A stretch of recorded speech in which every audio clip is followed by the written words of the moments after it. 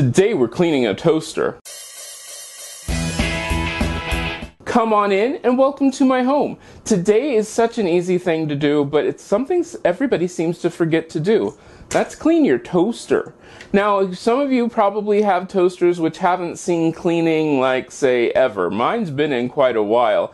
It's such an easy thing to do, but it's really easy to forget. The first thing you want to do is make sure that your toaster is, is unplugged. Make sure it is unplugged. No cleaning this while it's plugged in. Now most toasters have a little slide tray which catches all the crumbs. I'm going to wash it out and then thoroughly dry this so that, that way it is nice and dry before I even start to go back into this. Setting that off to the side for the moment, now I'm going to turn my toaster over and shake. Look at that. That is a mess. Now, I've got some brushes, in case you're wondering what those were for. And I'm going to go through and brush the top of my toaster, the insides. If your brush isn't long enough to get down into those really hard to reach areas, go ahead and use a different brush. This will actually take some time, so go ahead and take your time with this.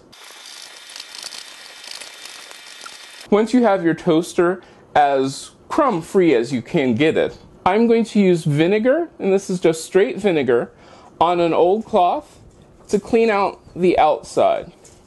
Don't worry, the vinegar smell will go away. Don't forget to also clean your cord. Once everything is nice and clean and dry, go ahead and reassemble it. And that's all the mess that was in my toaster.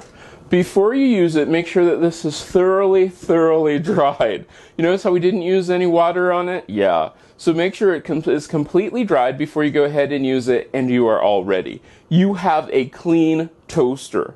If you do this, let me know. You can get a hold of me on most social media at CM Coleman Home. If you like this video, give it a thumbs up. You can share it. Don't forget to subscribe and check out the other videos on this channel. I love making these videos for you and I hope I get to see you again next time.